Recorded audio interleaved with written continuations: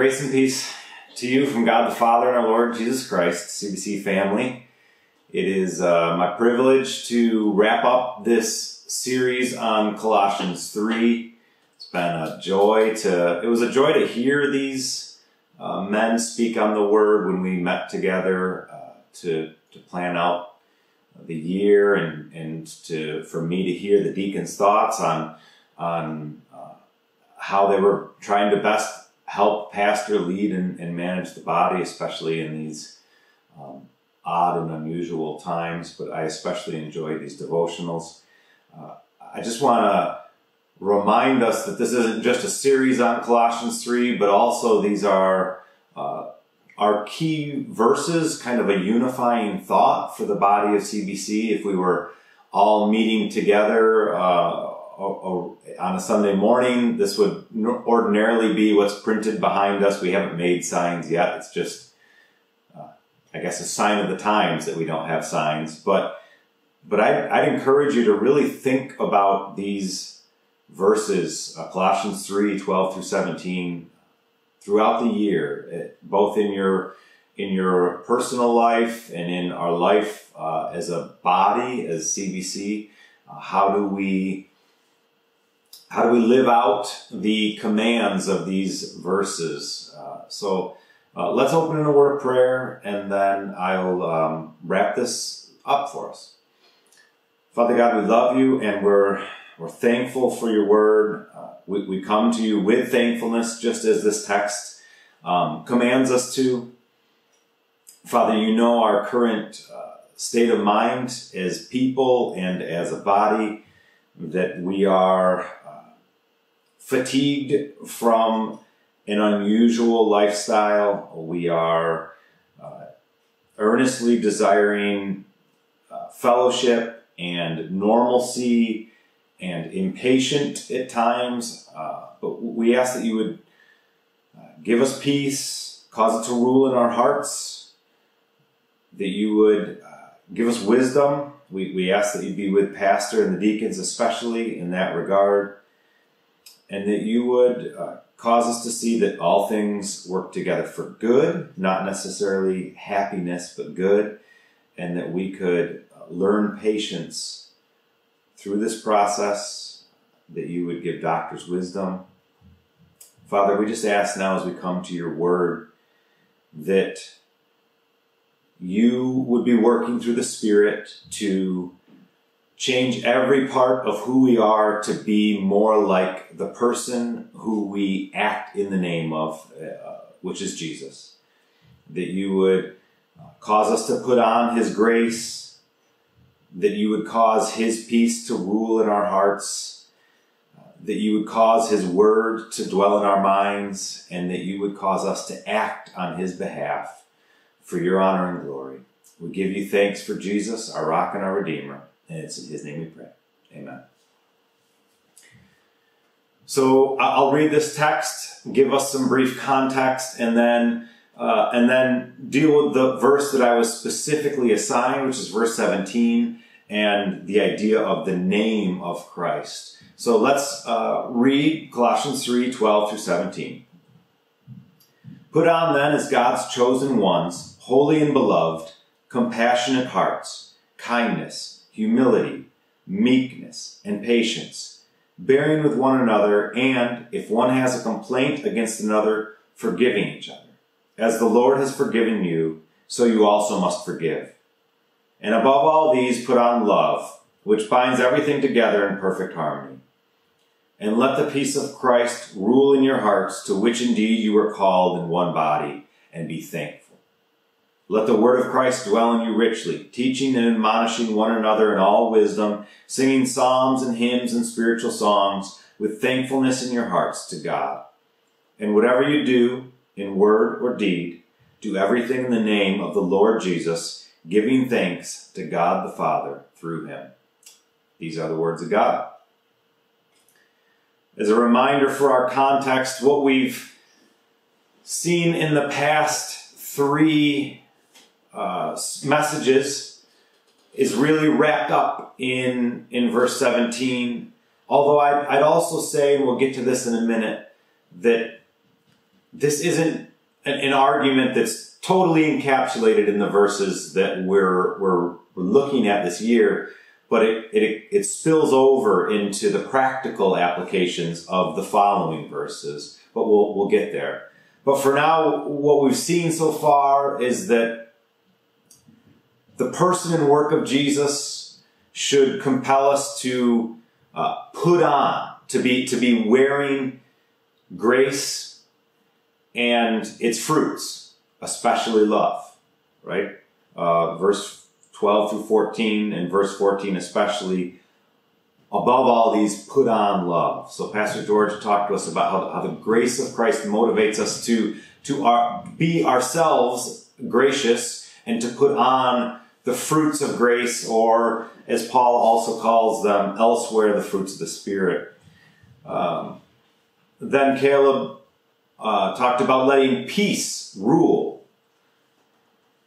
Uh, to, to have the peace that Christ has given us be not just a stagnant, uh, unconsidered, or minimized reality, but to have it maximized and taking over every part of our lives um, by letting it dominate um, our awareness of, of who we are as redeemed uh, by Jesus. And then last week, John uh, spoke about uh, the Word of Christ dwelling in us, that, that our minds would be a dwelling place for Christ's Word in such a way that it would uh, change the way that we uh, live, change the way that our church operates, that it would make, as John pointed out, uh, the, the, the message of, of God from His Word, the primary thing that we focus our corporate existence around, which is why we're, we're doing what we're doing right now and why we'll have uh, service in uh, tomorrow morning. Uh, and, and why that service, half of that time or, or more than half, uh, depending on me, I guess, uh, will be focused explicitly on God's Word and applying it to our hearts because we believe the Word of Christ ought to dwell in us richly. Of course, one way, and again, I'll just encourage this one way for the Word of Christ to dwell in you richly is to memorize it. And uh, that's a task that I'll be taking up for these five verses. Uh, as John pointed out, uh, he was my captain in in uh, Patch the Pirate Club. I don't mean that like Dead Poet Society. I, I mean uh, Wednesday night. Uh, he and others were instrumental in causing me to let the verse that tells us to let the word of Christ dwell in us richly, dwell in me richly for 30 years now. Uh, since I've since I've memorized this verse, I'm, I'm thankful that uh, this is a primary verse that my mind calls to the forefront in, in many conversations about um, what God's Word can do for us, what song can do for us, what corporate meeting can do for us. This is an instrumental verse. But I have verse 17, which says, Whatever you do in word or deed, do everything in the name of the Lord Jesus, giving thanks to God the Father through him. I really have four main points that, that strike me as, as primary and important to us in this verse. Of course, it's a culmination of these other three things. As, as the grace of Christ um, is put on by us, as it's made the, the driving force of our lives, and as peace rules in our hearts, and as the word of Christ dwells in our mind, uh, we begin to do things, right? I, I'm now getting to the action. Whatever you do. I, I guess one thing before I even get to my four points is that we, just like most people, Christians are not unique, we tend to want to get to the do thing first. And so we often memorize verses like, whatever you do, which we'll find in Colossians 4, uh, whatever you do, it, it, do it all in the name of Jesus, or do it unto the Lord and not unto men. Uh, you know, work heartily. Whatever you do in word or deed, do everything in the name of the Lord Jesus Christ. Uh, we we like to think about doing, and by doing we often mean actions. The uh, what what we do, and we we often have our, our children memorize these verses, and, and that's good. Um, but doing comes after who you motive, who you are motivated by, uh, what you have ruling in your hearts, and what your mind is dwelling on. And we can't short circuit this. We can't jump over those last three lessons. Uh, in fact, our, our the, the doing part is only going to be in accordance with God's word if God's word is dwelling in our mind. If our lives are motivated by the grace of Christ and focused on putting on love. And if our hearts are ruled by his peace. Have you ever wondered what does it mean to do something in the name of Jesus Christ? Paul, this isn't the only time Paul says to do that. Uh, it's in Ephesians. And, and as I was tasked with this text, and I, I spent a lot of time thinking about what does it mean to do something in the name of someone else. And, and of course, we have examples, and these examples do shed light on what it means. Uh, I, I, think of uh, when we when we see a wedding done on film or even in, in, person. Of course, it's been a long time since I've seen one of those in person, uh, given given the past year. Uh, but we, will often hear the officiant, whether it's a pastor or, or justice of the peace or, or whoever, say, by the power vested in me by New York or XYZ, I now pronounce you. Right? There's a there's a sense in which they're saying the agency that I have, the power, the ability, is not my own. I don't get to decide that you're married. Someone else makes that call and I'm the intermediary of it. And I think that's a real element of what it means for us to do in the name of Jesus. What we're saying in, in, in Paul's command is that the things that we ought to do, we can only do because the power comes from someone else. It comes from Jesus. Of course, this means that the things that we're doing actually should be things that would be empowered by Jesus. Uh, but we'll get to that in a minute. You know, Shakespeare, maybe one of his most uh, well-known lines is the is the famous line, uh, what's in a name? That which we call a rose by any other name would smell just as sweet. And so I, I think when we, when we say do all in the name of Jesus, there's a reasonable question there. Why? Why, when we sing all hail the power of Jesus' name, what do we mean? Why is the name Jesus so powerful? Well, we, we, uh, we know there's, there's some mystery about how language works. Mystery that uh, uh, no matter what people might tell you, we still don't fully understand. And in one sense, there is nothing special about the name of Jesus. Now bear with me and please give me grace as I say that. Uh, but we know the name Jesus was not a unusual name. It wasn't the pairing of two syllables or, or, or phonetic noises that had never been uttered before. This was a this was a common name. It's basically the same as my name, Josh. Uh, you know, it, it's derived from Joshua, uh, the, the idea being Jehovah saves names like Josiah or in, in Jewish circles, uh, Yossi or, or Joshi. Um, all all have the same uh, Hebrew background, and and maybe we we tend to think of the name the the the name the linguistic utterance of Jesus as being unusual because we don't know many, um, or you don't see others in the New Testament. But but that doesn't mean it was a common name.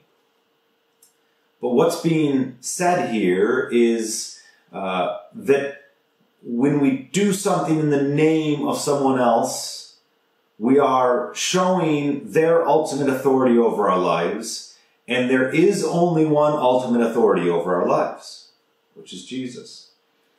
So that, that, that means that not only is doing something in the name of Jesus about admitting his agency and his power, but it's also about representation. Right? When you, uh, if you're into sports at all, or even if you're not, we all get the concept that uh, an athlete is representing something bigger than himself in a team sport. Uh, you know, there's only there's only two major league baseball teams that do not put the last name of the player on their shoulders, on you know, on their back shoulders. Uh, most teams do. And I've always enjoyed that the Yankees are a team that does not. Um, and of course, the idea there is that the name on the front of the jersey is more important than the name on the back. And that's certainly true for us as believers. The name by which we do things in is far more important than our own. This has massive application, both for individuals and for the church. Of course, application one is you can't do sinful things in the name of Jesus. And by can't, I don't just mean don't do that, although please don't say you're doing that, but also that, that it's, it's just not possible right? Our, our, our words and our deeds as redeemed cannot carry the name of our Savior if they don't align with who He is or, or what He's done and the example of what He would do. Um, who, you know, He who was tempted in every way, yet without sin. So we, we need to be careful of everything that we do, whether it be word or deed. The, the following verses of uh, after verse 17 give us some clarity on that, and, and I'm going to get to that in a minute. But I, I, before I get to um, words and deeds, I just want to point out that we we we cannot take sinning lightly, given the jersey that we wear. And, and we cannot forget the jersey that we wear, and it can't be taken off. We are called to do everything in His name, forsaking sin, putting on love above all else. Why? Because that's what our Savior did. So, whatever you do in word or deed. Moving on to point two, words. You know, it's interesting to point out that Paul here is calling words actions. He says, whatever you do, right? That's an action verb, whether it be word or deed. See, there's, there's a saying that we all know, talk is cheap. And what people usually mean when they say talk is cheap is, is to borrow or to use another cliche, put your money where your mouth is, right? Uh, in other words, you can say whatever you want, but what it really comes down to is what you do. And I would say not so fast. Talk is not cheap. Paul, in fact, puts it primary. Whatever you do in word or deed. Words matter. Of course, we can't let the word of Christ dwell on us richly unless we use words. And the words that we use really impact the world around us. James talks about this. Of course, Paul talks about it. Um, but we, we need to be aware that Jesus changed the world when he was on earth. And he did that both in word and deed.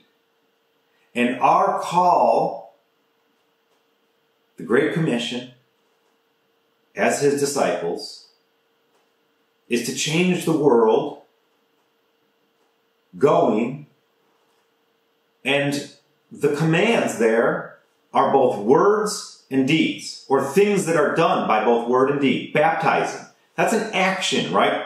That's a deed. It's a physical thing that we do. But teaching, that's words. Not always words. We can teach someone by example, but we also teach by word. And then discipling, what I would call the, the, the perfect merger of words and deeds. So words are, words are not cheap. And they are actions. They are how we change the world. And that is why we preach the word. It also points out that, that the words that we use, saying them in the name of Christ, are inherently unique. We, we take all kinds of worldly flack, if you will, for being the kind of Christian that says not all faiths are equal. Not all beliefs are true. Why? Because the grass withers, flower fades, but the word of our Lord shall stand forever. And what we proclaim as gospel truth, as good news, is God's Word.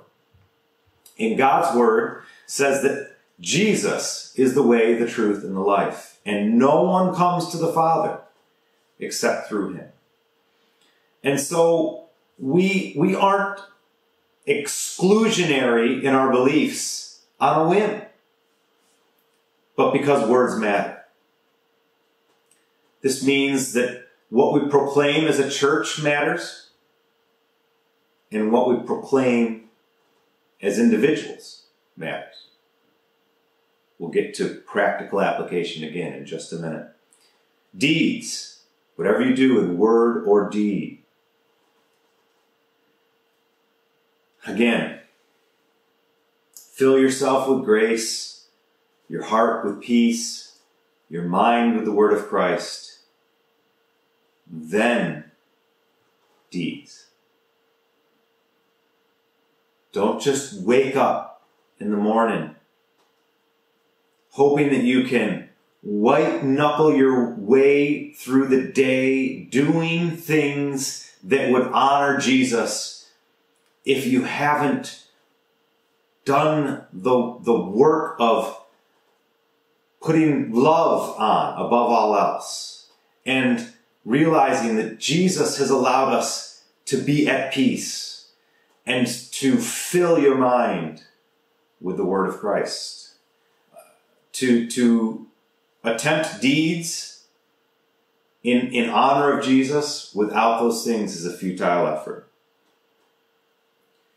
And then to, to put these two together, words and deeds, look at these following verses with me quickly and think about how interconnected our words and our deeds are.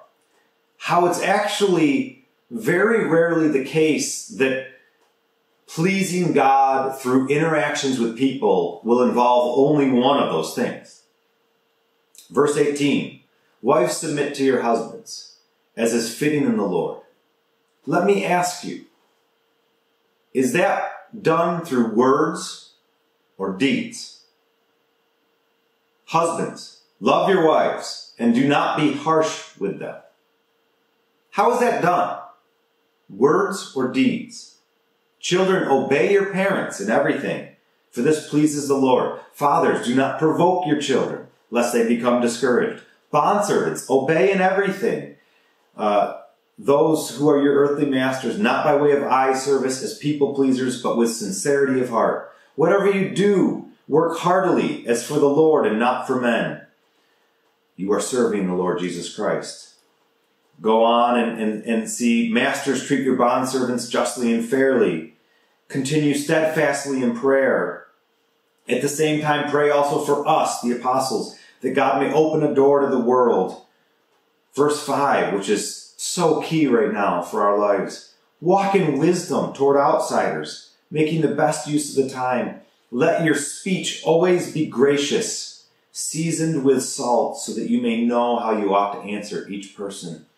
Look at how interconnected these things truly are words and deeds. Both of them are actions, they affect the world around us and for them to be done in the name of Christ, they have to be gracious.